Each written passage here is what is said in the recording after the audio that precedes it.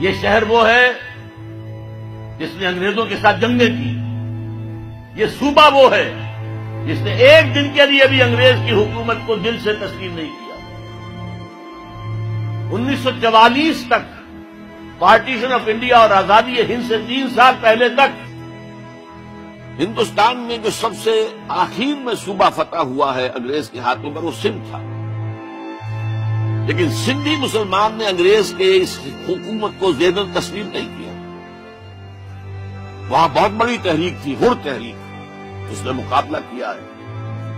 और ये 1940 जो है, उनके दौरान तक भी ये खबरें अखबार में पढ़ते थे। मैं भी उस वक्त अखबार पढ़ने के काबिल हो चुका था कि आज फला रेलवे स्टेशन को आग लगा दी हुरों ने और आज फला थाने को जला दिया है और आज फला यह कर दिया है।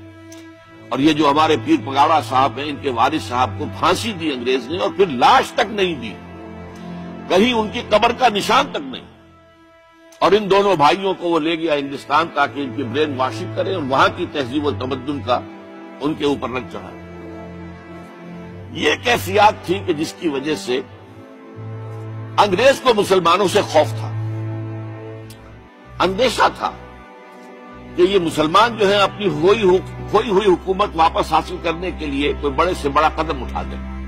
अंग्रेज़ों को चैन से नहीं बैठने दिया। आप समझिए, वजह क्या है? पंजाब में कितने कॉलेज खोले गए? भावलपुर से शुरू हो जाएँ SC college Bahawalpur Emerson college Multan Aitchison college और क्रिश्चियन फॉर्मन एससी कॉलेज फिर मरे कॉलेज सियालकोट फिर गॉर्डन कॉलेज रावलपिंडी, फिर एडवर्ड्स कॉलेज, पेशावर, इस सब में कायम किए, सिंध में कोई नहीं किया, क्यों नहीं किया? कभी सोचा आपने? सिंध में तो किसी पारसी ने कोई मदरसा खोल दिया फिर मुसलमानों ने कोई मिलजुल के कोई मदरसों ने इस्लाम कायम कर लिया, अंग्रेज़ ने कोई नहीं बनाया क्यों नहीं बनाया? उसे मालूम था कि सिंधियों के दिलों में हमारे खिलाफ बगावत है। ये कभी हमारे वफादार नहीं होंगे। जब भी मौका मिलेगा, हम पर हमला करेंगे जबकि पंजाब और सरहद के दरमियानी अजला जो है, वो अंग्रेज़ के वफादार साबित हुए। पंजाब की फौज थी जिसने के अठारह में दिल्ली जो अंग्रेज़ के हाथ से निकल गया था, दोबारा लेकर दिए पता करके दिए। पंजाबी थे वो, मुसलमान थे। सिख भी थे, मुसलमान भी थे। उसकी खास वजह थी मुझे याद है, मियाँ तुफैल साहब अभी ज़िंदा है। उन्होंने एक दफ़ा बयान दे दिया था बहुत सख्त। कि सिंधी तो फौजी है नहीं, फौज में आते नहीं है। सिंधी तो नॉन मार्शल रेस है। ये जो अंग्रेज़ का प्रोपेगेंडा था, वो उनकी जबान से निकला।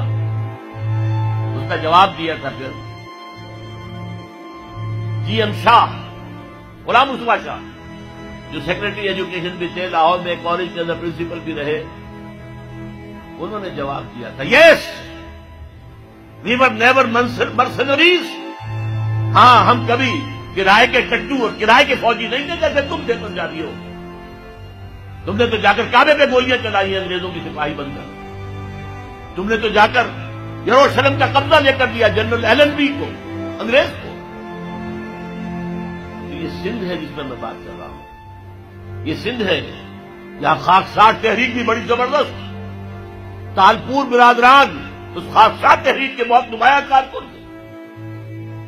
ये सिंध है, जहाँ पंजाब से आने वाला एक नौ मुस्लिम था पंजाबी, सिख से मुसलमान हुआ था मौलवी उबैदुल्ला लेकिन उसके नाम के साथ सिंधी लग गया हमेशा के लिए। मुजाहिद इंसान, हज़रत शैखुल हिंद का सिपाही उबैदुल्ला सिंधी रहमतुल्लाह अलैह। वो सिंध है और मैं आपको और बात याद दिला दूँ। सिंध वाहिद सूबा है इस पाकिस्तान का, जिसमें कि पार्टीशन से पहले भी मुस्लिम लीग की हुकूमत थी। पंजाब में यूनियन पार्टी की हुकूमत थी। हिंदू, मुस्लिम, सिख मिलकर बनाई थी उन्होंने। मुसलमानों की पार्टी नहीं थी। मुस्लिम लीग को एक दिन भी वहाँ वजारत नसीब नहीं थी। सरहद में डॉक्टर खान साहब की वजारत थी। बाचा खान का बड़ा भाई। वो तो रेफरेंडम हुआ है और गयूर पठानों ने पाकिस्तान के हक में वोट दिया है और उसके लिए मौलाना मौलाना शब्बीर अहमद उस्मानी रहमतुल्लाह ने बड़ा पार्ट प्ले किया।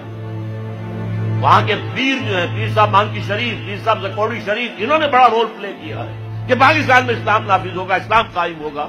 लिहाजा वोट दो मुस्लिम लीग को। वरना ज़ाहिर बात है कि यहाँ तो सिवाय सिंध के कहीं भी मुस्लिम की हुकूमत नहीं थी। और जी एम सैयद साहब, अगर वो बाद में जो कुछ इस मुल्क में हुआ है, उससे बददिल हो गए, एक रिएक्शन हुआ उन पर। आखिर होता है। क्यों गर्दिश बदाम से घबराना जाए दिल? इंसान हूँ पे आला और सागिर नहीं हूँ मैं उन पर एक रद्द अमल हुआ। वरना वही थे जिन्होंने 1943 में कहा था, ए माइनॉरिटी प्रोविंसेस के मुसलमानों हमें यहाँ हिंदुओं ने दबाया हुआ है। हमारी जमीनें जो है, उनके पास गिरवी रखी हुई है। सारा कारोबार उनके पास है। खुदा के लिए हमें ये फन नहीं आता। आओ तुम यहाँ। अभी पार्टी पार्टीशन का कोई सवाल नहीं है। मैं 43 की बात कर रहा हूँ। आओ सिंध के अंदर, ताकि यहाँ पर तुम